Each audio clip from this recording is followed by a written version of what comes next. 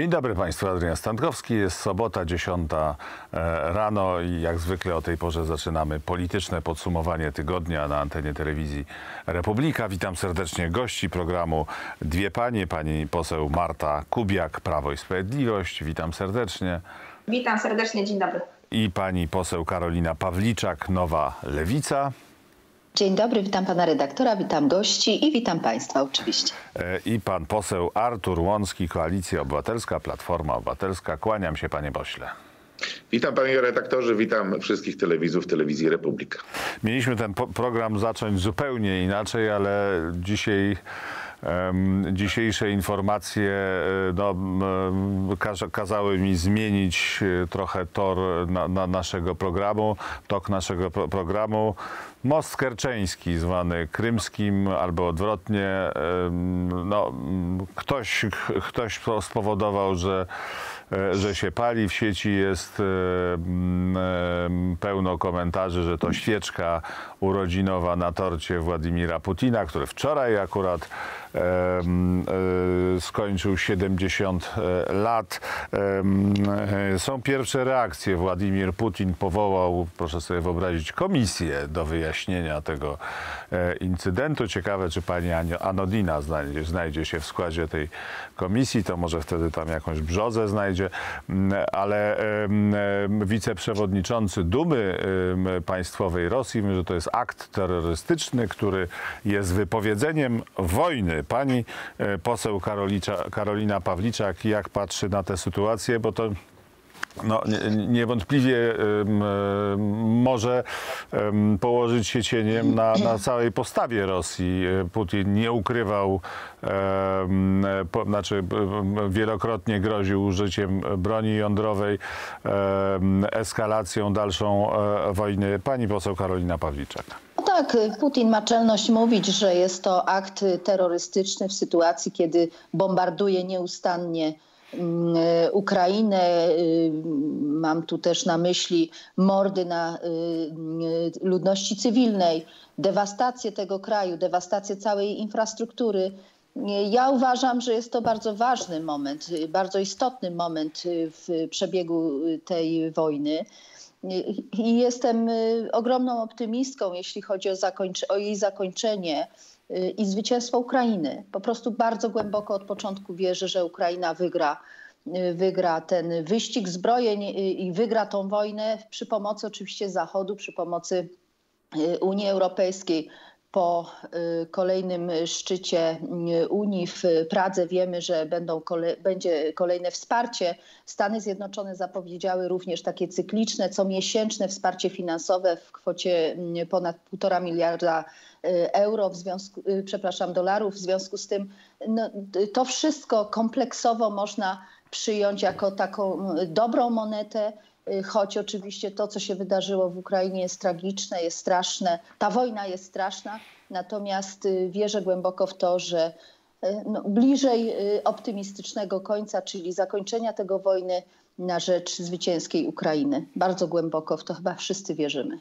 Eksperci, e, w tym były ambasador Polski w Kijowie, e, pan ambasador Jan Piekło, twierdzą, że to jest po prostu klęska, to co się wydarzyło na moście.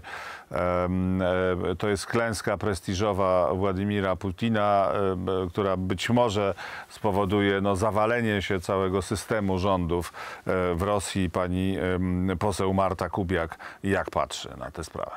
No, panie redaktorze, wiadomo było, że Rosjanie od kilku miesięcy bardzo dużo uwagi poświęcali obronie właśnie tego mostu i wydawało się, że jest on praktycznie nie do zniszczenia. Natomiast tutaj konsekwentnie jest prowadzona moim zdaniem polityka odwracania na arenie również międzynarodowej uwagi od tego, że to nie Rosja jest agresorem, tylko że to Ukraina e, prawda, jakieś tam kroki poczyniła i to dlatego Rosja w konsekwencji napadła na Ukrainę. To jest tak samo jak, drodzy Państwo, w kontekście tego, co działo się w minionym tygodniu, e, wybuchy na Nord Stream 2. Tak? Wiemy już teraz, że był to sabotaż. No i konsekwentnie jest prowadzona polityka, ta, ta polityka odwracania uwagi. Myślę, że to jest ewidentna klęska Putina i myślę, że dalej musimy konsekwentnie, konsekwentnie oczywiście wspierać Ukrainę w broni i oczywiście doprowadzić do tego, aby jak najszybciej ta wojna się zakończyła, oczywiście z wygraną Ukrainy. E, Pan poseł Artur Łącki, e, panie pośle, no właśnie, tylko że paradoks polega na tym, że w im gorszej sytuacji są wojska e, rosyjskie na, na Ukrainie, im więcej takich porażek, tym no, jednak bardziej prawdopodobne jest to, że Putin posunie się do czynów e, desperackich. Jak pan, e, jak pan uważa? Najpierw może jedno zdanie pozwolę sobie na temat tego mostu. No, trzeba jeszcze wiedzieć, co to był za most. Rosja to jest bardzo biedny kraj. E, Tam naprawdę ludzie żyją z jakimś minimum socjalnym, takim, który prze, e, pozwoli im przetrwać. No mówię o, o interiorze, mówię o wioskach, bo oczywiście nie mówię o Moskwie i Petersburgu, to są, e, to są dwa światy, ale te małe miasteczka, wioski, tam są drogi w ogóle nieutwardzone. Oni e, tak naprawdę jakby pojechać tam z kamerą, to można by było powiedzieć, że, jesteś, że się cofamy do lat 30.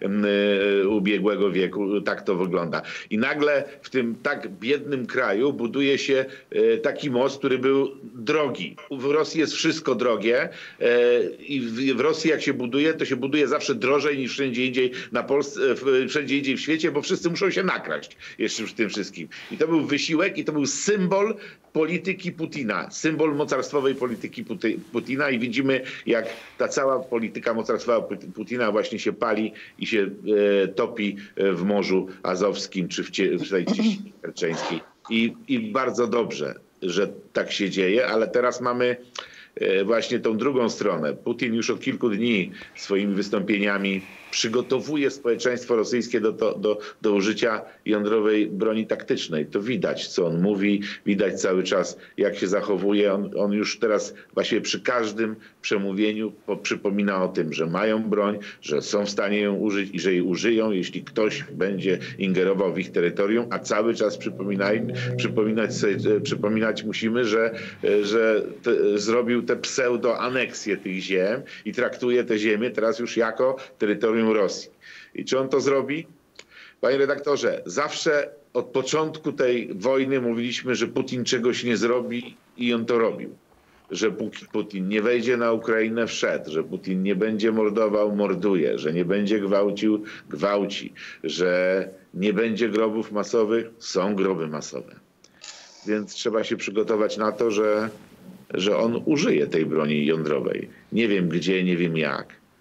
E, tylko e, nas chroni to, że mimo wszystko Zachód jest silniejszy od Moskwy. Jeśli on to zrobi, to będzie to przysłowiowy gwóźdź do trumny Putina i trumny mocarstwowej Rosji. E, To, że użycie broni jądrowej jest e, realne, podkreślił sam prezydent Stanów Zjednoczonych Joe Biden. Mamy krótki materiał dotyczący odpowiedzi amerykańskiej. Tej odpowiedzi trochę nieoficjalnie udzielił były szef CIA, e, generał Petreus. Zobaczmy, co powiedział. hypothetical. Um, Mówiąc hipotetycznie, odpowiedzią będzie wspólnie z NATO zniszczenie wszelkich rosyjskich sił konwencjonalnych, jakie rozpoznamy i zidentyfikujemy na polu bitwy na Ukrainie, a także na Krymie oraz każdego okrętu na Morzu Czarnym. Pani poseł Karolina Pawliczak, no to dosyć mocny przekaz, bo to nie jest Tak. e, t, t, po, po, powiedziane, że tam e, wej, nawiążemy kontakt bojowy, czy spróbujemy. Nie, zabijemy wszystkich, kto się nie schowa w myślą jamie, zatopimy wszystkie statki. Pani poseł. No, wojna niestety jest y, bezwzględna. My mamy do czynienia dzisiaj z taką regularną wojną, o której kiedyś czytaliśmy w książkach historycznych. Pewnie kilka lat temu nie, nie sądziliśmy, że będziemy to obserwować na żywo za naszą wschodnią, tak blisko za naszą wschodnią granicą. Ja zgadzam się tutaj z panem posłem Łąckim. No, Putin jest nieprzewidywalny. Y, I y, trudno nawet przewidzieć, co może w tej głowie się tam y, w, tych, w tych myślach kryć.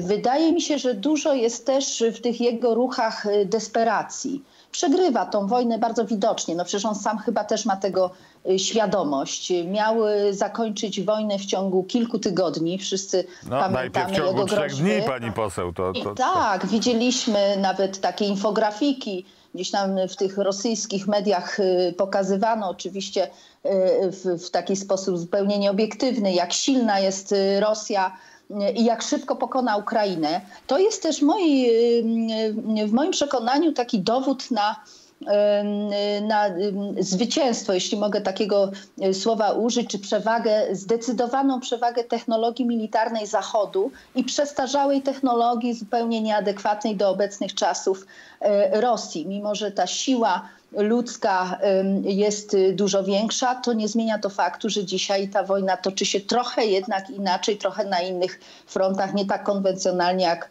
E, wiele lat temu w czasie II czy I wojny światowej, zupełnie nieporównywalnie. Wydaje się, że Rosja zatrzymała się zupełnie na innym etapie i to dzisiaj bardzo wyraźnie widać. Natomiast jeśli chodzi oczywiście o tą groźbę nuklearną, no, musimy się też na to przygotowywać. Oczywiście, oby do tego nie doszło, wszyscy myślę, że też się pod tym podpisujemy, natomiast nieprzewidywalność Putina wskazuje na to, że że może to zrobić, a z drugiej strony odpowiedź Stanów Zjednoczonych musi być w tej sprawie również bardzo konkretna i bardzo jednoznaczna. Tutaj nie można owijać bawełnę i mówić, że będziemy czekać, że może będziemy, nie wiem, prosić Putina o to, żeby y, zmienił w tej sprawie zdanie, czy zmienił y, koncepcję co do tej wojny. No to się po prostu nie da. Dzisiaj mamy naprawdę do czynienia z y, agresorem nieprzewidywalnym, I, i tak, taka odpowiedź w mojej ocenie jest właśnie prawidłowa, właściwa i, i dla nas również stanowiąca o tym, że jako kraj członkowski NATO, no musimy się czuć bezpiecznie. To też jest dla nas po prostu dobre. Mhm. Pani poseł Marta Kubiak, bo w odpowiedzi na te groźby pojawiły się E, głosy także w Polsce, no, że powinniśmy tutaj e, zachowywać się rozsądnie, że dojść do jakiegoś porozumienia z, z, z Władimirem Putinem. Angela Merkel mówi, że pokój jest możliwy pod warunkiem, że będzie no, przy udziale Rosji zawarty, chyba przy podziale powinna powiedzieć, ale to już zostawia pani poseł ocenę tych słów. No ale panie redaktorze, myślę, że wypowiedź pani Angeli Merkel pana specjalnie również nie dziwi. Przecież wszyscy pamiętamy, e, że przecież to pani Angela Merkel prowadziła zażyłe e, relacje i interesy. E, kontynuuje to pan Scholz i to jest tego konsekwencja dzisiaj. Natomiast z drugiej strony również bardzo dobre posunięcie pana prezydenta E, gdzie możemy przecież skorzystać e, z programu Nuclear Sharing. To jest takie to wypożyczanie e, broni, wiadomo, że za zgodą Stanów, ale jest to jakieś rozwiązanie w tej sytuacji. A co do samego Putina, no to przecież wiemy, że on jest nieobliczalny. To jest szaleniec, który sobie wymyślił jakiś plan, który dokładnie za każdym razem nie, nie wypala, nie idzie po jego myśli, no i ucieka się do coraz bardziej drastycznych E, środków. Czy to zrobi? Nie wiadomo, natomiast bezwzględnie trzeba być na, na wszystko e, przygotowanym. E, pana posła Artura Łąckiego, który jako mężczyzna pewnie bardziej się interesuje technologią wojskową, chociaż nie chcę tutaj wprowadzać, bo temat wywołała pani poseł Karolina Pawliczak. No właśnie, bo to jest tak, że 20 lat temu Saddam Hussein miał więcej czołgów niż Adolf Hitler i liczył na to, że E, że tymi czołgami e, wygra ze Stanami Zjednoczonymi. Tymczasem no, to trwało 48 godzin tak naprawdę to zasadnicze uderzenie amerykańskie. Czy dzisiaj ta przewaga technologiczna, bo tutaj taka pewność, którą prezentuje pan generał Patreus, no przecież jest właśnie wynikiem tej przewagi technologicznej. Bo nie, nie w ilości wojska rzecz. Musimy sobie zdawać sprawę, że prawdą jest to, że Amerykanie byli na Ukrainie już od 2014 roku. Zaraz po, po tym, jak e, Rosja anektowała e, Krym, e, Amerykanie zaczęli pomagać Ukrainie i na pewno mają bardzo rozpoznany teren, że tak powiem, czyli wiedzą, czym Rosja dysponuje. Oczywiście to nie jest taka wielka przewaga technologiczna jak między Ameryką a, ale, a Irakiem wtedy, ale ta przewaga wystarczy na to, żeby tak pewne słowa powiedzieć. E, widać to chociażby po tej broni, a przecież nie jest to broń najnowocześniejsza, którą Ameryka przekazuje e, Ukrainie, czyli słynnych e, wyrzutniach HIMARS, które sieją spustoszenie wśród infrastruktury wojskowej rosyjskiej, czy chociażby wszystkie pociski ziemia-powietrze, te, które strącają amerykańskie, rosyjskie statki powietrzne i helikoptery. No. I my My chcemy w to wierzyć i my w to wierzymy, że Amerykanie to, co mówią, to mówią prawdę. Jeśli generał Petreus tak jednoznacznie mówi o tym, że tak jak pan właśnie zaznaczył, panie redaktorze, on nie mówi, że oni wejdą, że będą walczyli. On mówi, że rozpoznają wszystkie jednostki łącznie z flotą i ją zniszczą.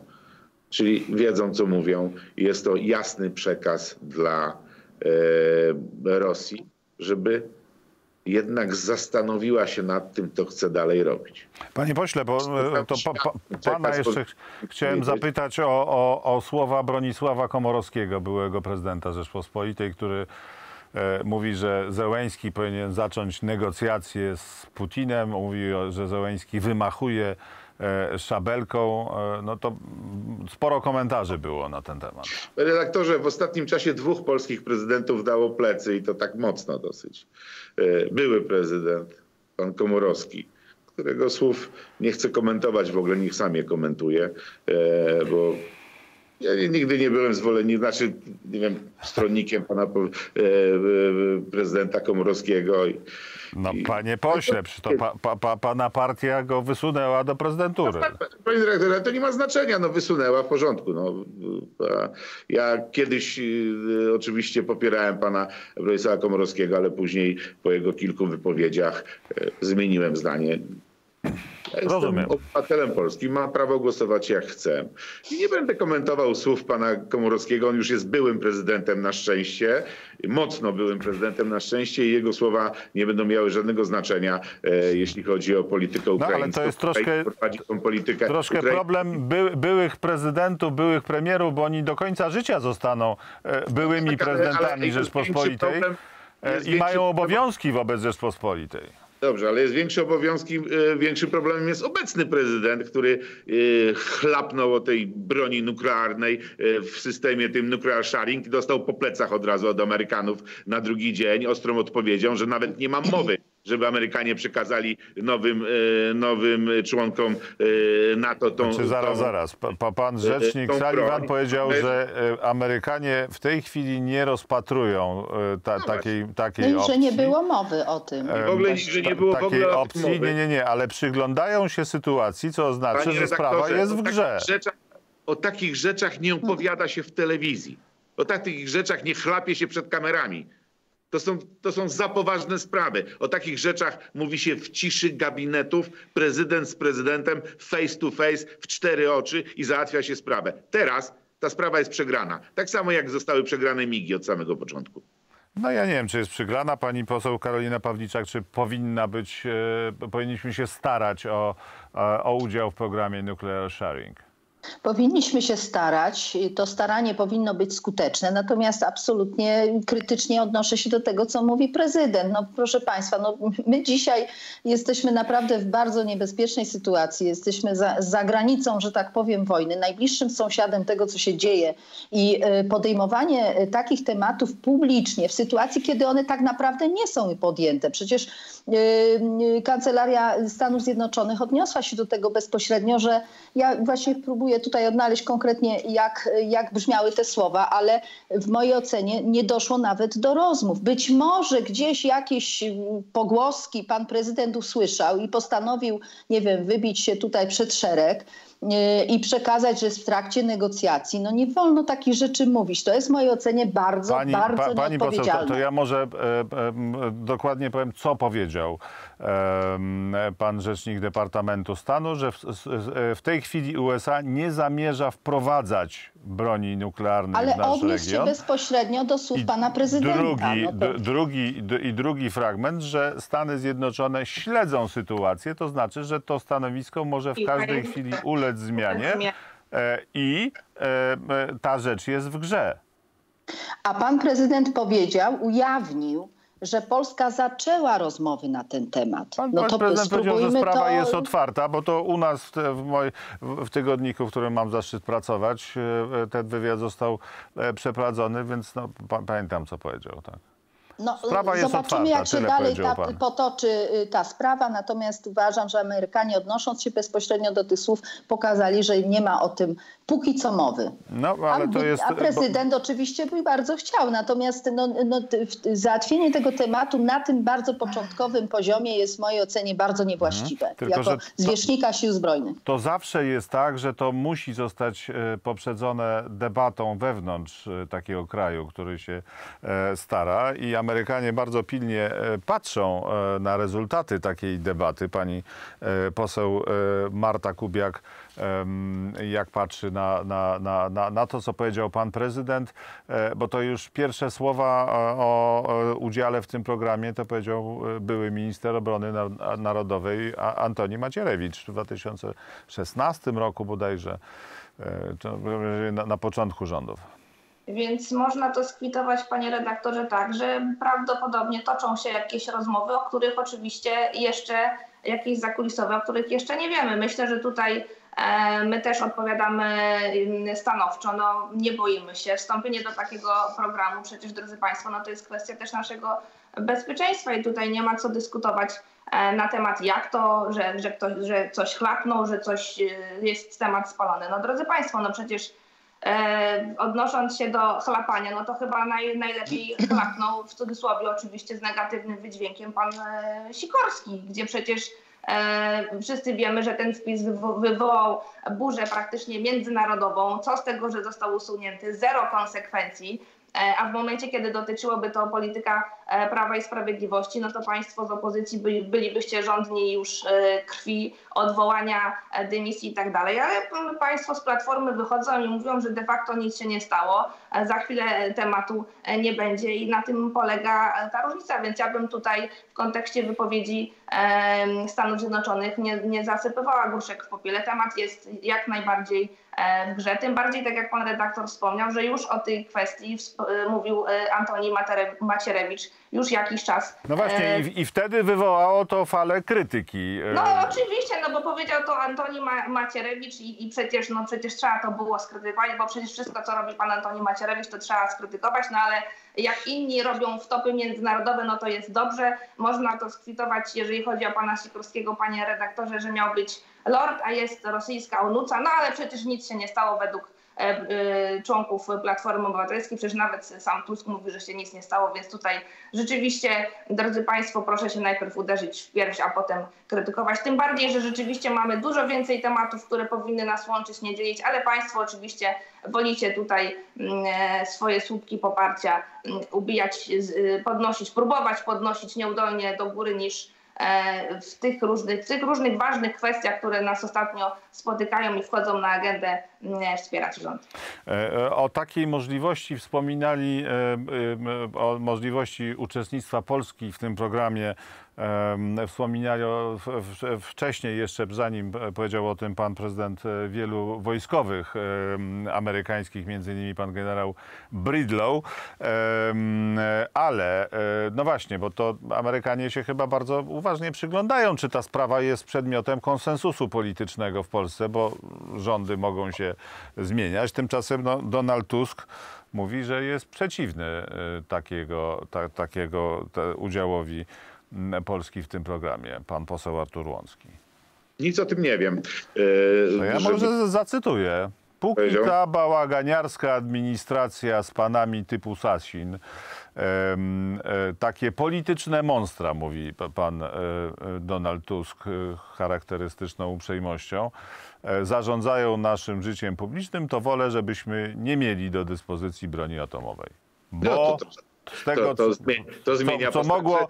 Ale najpierw to mogłoby do- coś z tego bardzo złego wyniknąć. Tak, Najpierw się odniosę do słów pani poseł Marty Kubiak i tu muszę się zgodzić z panią poseł, że, że e, faktycznie e, politycy, e, politycy czasami coś chlapną i później jest z tego problem. Tylko pani, pani poseł, problem polega na tym, że z naszej strony e, powiedzieli to byli politycy, którzy sprawczości większej nie mają, a ze strony rządzących No. niestety powiedział to o e, Sikorski jest, jest chyba aktywnym politykiem. To, co pan powiedział, panie redaktorze, to co pan powiedział, panie redaktorze, pan e, e, wtedy minister Macierewicz też mówił o tym w 16 roku i te mówienie spowodowało to, że w 22 nie jesteśmy w tym programie. Czyli e, gadanie takie na forum, zanim się do, e, dogada z Amerykanami, powoduje to, że nikt nas do tego programu nie zaprasza. I takie właśnie też powiedzenie przez pana prezydenta o tym na forum, zamiast najpierw rozmawiać z, Amerykanów, z Amerykanami, spowoduje to... Ale skąd pan poseł wie, że, że, że prezydent nie no, rozmawiał najpierw z Amerykanami? Dyplomacja, panie redaktorze, dobrze pan o tym wie, yy, potrzebuje ciszy gabinetu. Najpierw trzeba rozmawiać, najpierw trzeba załatwić, a dopiero później ogłaszać. No to wzorem, rozumiem, jest Radosław Sikorski. W tym kontekście mówiłem, że pan prezydent... Pan Były prezydent, szef dyplomacji. E, a słowa pana Donalda Tuska, jak już pan redaktor przeczytał, no to troszeczkę inaczej się mają do tego. Ja też obawiałbym się, co e, z tą bronią zrobiliby obecnie rządzący, bo do końca... Ale co, im... na sędziów by ją spuścili, czy o co chodzi? Bo... Ja nie mam zielonego, ja nie mam zielonego pojęcia, ale bałagan jaki jest w tym rządzie, panie redaktorze, bałagan straszny z węglem, z... O węglu pro... za chwilę po, porozmawiamy. Do czego się dotkną, powoduje to, że obawiałbym się o bałagan z najbardziej e, śmiercionośną bronią na świecie. I w tym kontekście jestem akurat e, przychylny słowom pana przewodniczącego. Ale to przecież pan doskonale wie, że taka, ten program Nuclear Sharing polega na tym, że to Amerykanie e, składują, odpowiadają za tę broń na terytorium państwa, które... To, to, to takie jest tłumaczenie, udostępnianie, to jest bardziej przechowywanie na innym terytorium, a dopiero w razie, w razie wojny y, oba państwa decydują o użyciu tej broni. Jeśli pan by mnie pytał o to, czy ja jako Artur Łącki chciałbym, żeby Polska miała możliwość odstraszania, to oczywiście chciałbym, żeby Polska miała możliwość odstraszania. E, czy chciałbym, żebyśmy e, należeli do, e, do tego programu? No tak, jeśli nie jesteśmy w stanie wybudować swojej własnej, mieć swój własny guzik i sam, sam nad tym panować, to chciałbym, żebyśmy w takim programie byli. Tylko co z tego, że ja to powiem, skoro pan prezydent potrafi to spalić jednym, jednym powiedzeniem, bo pan Macierewicz to spalił w 16 roku. I co z tego? No, Wydaje mi się, że jeśli my dojdziemy do władzy, to nasza dyplomacja e, doprowadzi do tego, że będziemy o tym rozmawiali w ciszy gabinetów i ogłosimy ewentualny sukces, a nie, nie będziemy robili tego odwrotnie. No, pani poseł Karolina Pawliczak jeszcze na, na, na koniec tej części. Pani poseł... Na koniec tak? E, czy Lewica chciałaby uczestnictwa Polski w tym programie, ale takie to chcenie, e, ta wola, no to oznacza powiedzenie jednoznacznie tak. Ja uważam, że każdy program i każda formuła, która prowadzi do bezpieczeństwa naszego kraju, naszych obywateli, jest słuszna. I proszę nam tutaj nie robić takich wrzutek, i to jest słowo do pani poseł, że opozycja staje w, po drugiej stronie, bo tak nie jest, jeśli chodzi o kwestie bezpieczeństwa. I ma pani dowody choćby w postaci ustaw, które żeśmy poparli w tematach wsparcia finansowego naszej armii, wsparcia armii w ogóle, jeśli chodzi o kwestie militarne. I uważam, że dzisiaj to jest priorytet. Także w tej sprawie ponad polityką powinniśmy mieć jedno stanowisko. Natomiast ja, proszę Państwa, wtrącę jeszcze jedno, bo do jakiej, proszę zauważyć, my do jakiego poziomu my debaty publicznej dochodzimy, skoro z ust pani poseł słyszy się nieustannie, ale i oczywiście z ust innych polityków Prawa i Sprawiedliwości, w stosunku do y, polityków opozycji nieustannie o ruskich onucach, o agentach Rosji, agentach Berlina, Niemiec. No, pani poseł, ponieważ pani lubi wypominać wiek, y, to ja powiem ale w bardzo pozytywnym aspekcie, że pani reprezentuje młode, nowe pokolenie polityków i naprawdę niech pani chociaż na chwilę się odetnie od, od tej politycznej narracji swojego y, ugrupowania, y, przekazu dnia bo po prostu nie przystoi. Po prostu nie przystoi. Ja sobie no, nie wyobrażam, jak można mówić na polityków, y, Polaków, obywateli Polski, y, którzy y, ze wszelkich sił dbają o, o dobro tego kraju, że jesteśmy agentami. Ja to nieustannie słyszę. Niech pani się opanuje, niech pani trochę zacznie samodzielnie myśleć. Proszę to, to panią krótka, o to. Krótka, krótka odpowiedź pani, pani poseł. A jak można w Unii Europejskiej donosić na własny kraj? Można? Pani poseł, Nie, kompletnie nie pani, to, to znaczy, że to są Pani agenci, poseł, tak? To znaczy, to są agenci. Nie ma żadnego donoszenia na własny chcecie- kraj. chcecie Jest dbałość o państwo- własny kraj. Czy pani wie, że my nie otrzymujemy środków z Unii Europejskiej przez was? Pani poseł- powiedzieć, że pan Sikorski, będąc, drugo, będąc marszałkiem, będąc dwukrotnie ministrem, że on naprawdę nie wiedział, co ten jego wpis może spowodować? No, no, no drodzy Nic państwo, pani no. się nie nauczyła, kompletnie pani nic. poseł, To ja jest już po prostu mówienie. Tego, pani co rusz się doczepia y, do pustej ściany. Do mojego wieku I zaraz pewnie pani mi powie, że jestem nieuprzejma, bo na panią krzyczę, a pani mi permanentnie Nie, przerywać. mówię, że pani jest Właśnie reprezentantem pani to młodego pokolenia. szanowni Powinna państwo- pani trochę inaczej na to Pani wszystko poseł, spojrzeć. Ale pani mi nie będzie mówić, co ja mam robić i co ja mam myśleć. Na tym polega To demokracja. niech pani idzie dalej w takie dyskusję znowu bardzo polega momencie, e, kiedy będziemy kontynuować już po przerwie, na którą serdecznie zapraszam.